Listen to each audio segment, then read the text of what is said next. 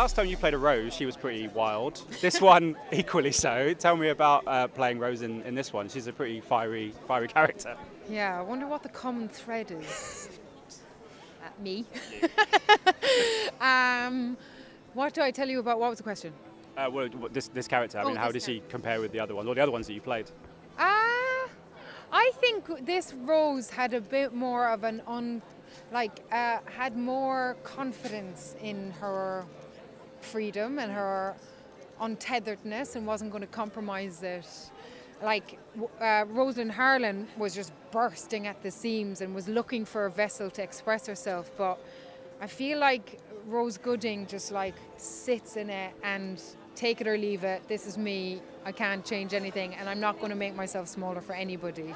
Um, and they've both been such heroes of mine. Like all, I feel that about all the women I've played. Like they've all left a little mark in my heart, and I'm, I've learned so much from them and grown so much from them.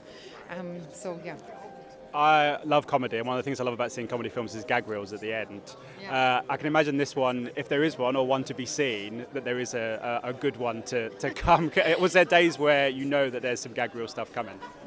Yeah, there's a few times which, you know, when you get the whole crew's shoulders kind of going, you know that, that you, you know something's like right, and when they have to like, you can't kind of.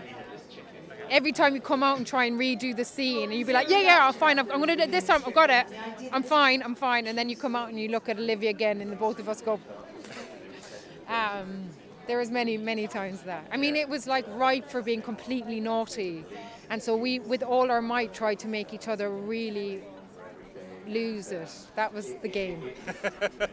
I spoke to your lovely co-star Malachi, and he was saying he wants to take acting lessons from Alisha Weir. Do you Oh. echo that sentiment?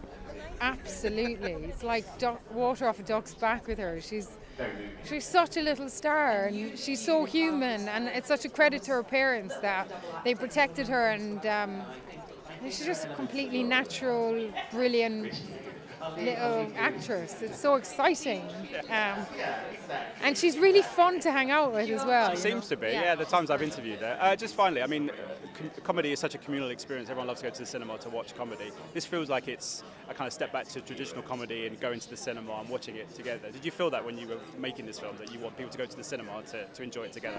Yeah, I mean, I felt like that reading it. I was like, oh my god, I definitely, I want, I need this. Like, I need a good laugh, and it's so great that we can have such a kind of buffet of so many different kinds of films, and there's so many incredible directors and actors and writers producing stuff.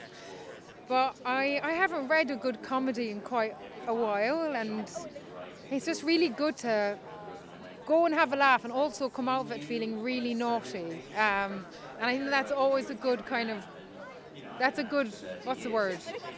That's a good feeling. It's not the word I was looking for, but it'll do. It's a fantastic feeling. Ladies and gentlemen, you're watching Hey You Guys! Hey, you guys! Hey, you guys! hey, that's what they all say. Hey, you guys! Hey, you